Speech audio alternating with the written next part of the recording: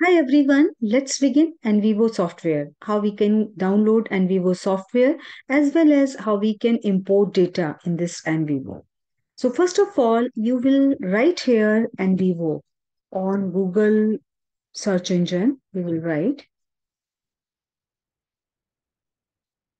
NVivo, NVivo download. Press enter. A moment you will press enter, there is the start your 14 days free trial because free trial that is available only for the 14 days. And uh, if you would like to purchase you can purchase that NVivo software. So you can see here a moment it is downloading it is reflecting that part. I have already opened that particular yes this is open. A moment you will click on this NVivo this kind of uh, platform that will open. You can see NVivo dashboard, NVivo Academy, collaboration, transcriptions, iTracks, and downloads. So if you would like to download, you can see here, latest version is NVivo 20 for Mac, NVivo 20 for Windows, and old versions also available. Suppose you are comfortable and you want to download older version of NVivo, that is NVivo 12, NVivo 11, or NVivo 10. So you can download the version you require here. The first two numbers in your license key determine the version of NVivo to download. Here is, you can see download NCapture also. NCapture is a free web browser extension for Chrome. It enables you to gather web content, for example, from Facebook or Twitter to import into NVivo. So it is installed by default during NVivo installation. So there is no need you are going to install.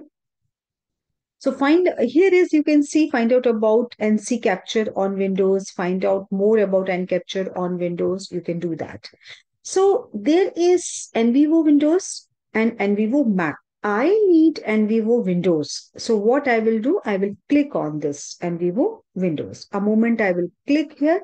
You can see here it is preparing for download. And if you have a license for current version of NVivo March 2020, right? Again, it is showing. So again, I am reloading this because I have already downloaded. So there is no need to download again. But I would like to show you, you can see here, it's downloaded. And on the left hand side corner, you can see NVivo 64.exe because my system is 64 bit. So that is why I had downloaded 64 bit. A moment you will download, you can see here this kind of, I'm just opening up. You can, you will install this. And uh, after that, you can see if you would like to download older version, you can download old version also. I have downloaded only latest version NVivo 24 Windows. So old version also you can download.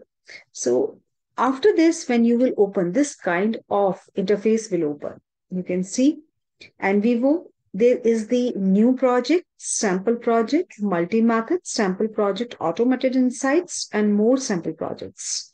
What you can do here is, you can see here after this okay fine i will tell you. First you have to you will register on this NVivo a moment it will you will step you you will you will run it and after that you will get register on NVivo through your mail id after this you can do new project you can see. So you can give any project title on which you are working. Let's say um any any interview if you have uh, scheduled or recorded so you can give title of this uh, quantitative, qualitative analysis you would like to do. So project title is interview. File name you can give, you can browse this file name, you can give your description also. So in that way, it will function and in the next video we will understand how we can import data or how we can create this kind of uh, new projects in my next video thank you keep watching stay tuned